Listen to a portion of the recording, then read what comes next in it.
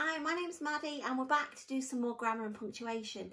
Now you may be able to see that this video is also available with an alternative where I did it outside and when we watched it back the birds were quite loud so I'm just doing another version without the birds but you choose which one you'd prefer to watch quite like the bird version, but some people have said it's a bit distracting. So basically, today we're going to look at some spelling. Now, I know you're all so super excited about the thought of a spelling investigation, but bear with me because it is quite fun. Um, one of the spelling investigations that we did in my classroom was when we had a statement to investigate, and that statement was to make a word plural, we had S or ES. And what I asked the children is, is that always, sometimes, or never true?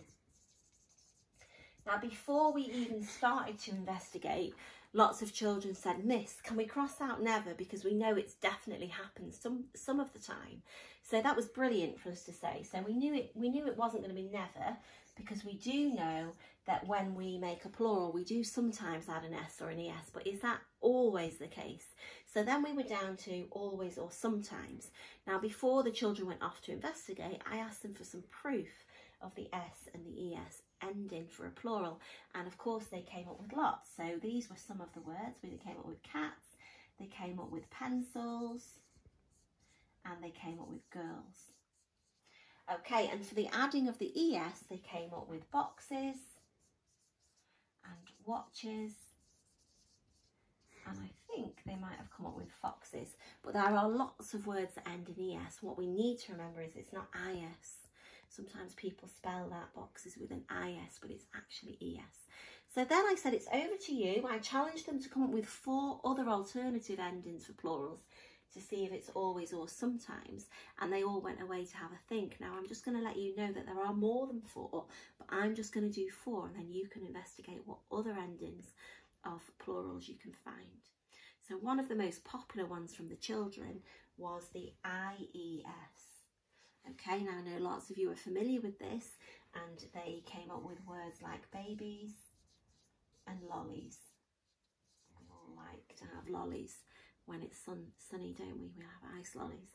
And the other ending that they came up with, which I was really pleased to see, was the VES because sometimes that can catch us out. It's a bit tricky when words end in an, in an end with an, a sound of the F yeah and that can sometimes throw us so they came up with wolves singularly being wolf plural wolves so you might be able to think of some more you can stop the video if you want to have a think they also came up with knives. Put the knives on the table or you would have singular a knife and then singular of a house has a roof but we could have a number of roofs. Now I'm saving two here, I'm going to talk about them, but you might be able to stop and have a chat about other plural endings that you're aware of. Now the one I'm going to share with you now is my favourite type of plural. And that might sound a bit strange that I've got a favourite type of plural, but I have. And they're the ones that stay the same. I'm sure you know some of these that stay the same and they are fish, sheep, deer. And we know if they're plural by what comes before them. So you might say, I, I went to the park and I saw a deer. Then we know you saw one. But if you say I went to the park and I saw some deer, that determiner some is telling us that you saw more than one. Okay? And the other one, which is my second type of favourite plural, are the irregulars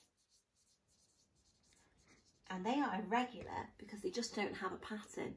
A little bit like the irregular past tense. But they're irregular plurals. And we can't we can't we can't you can't guess them. And this is where sometimes people go wrong.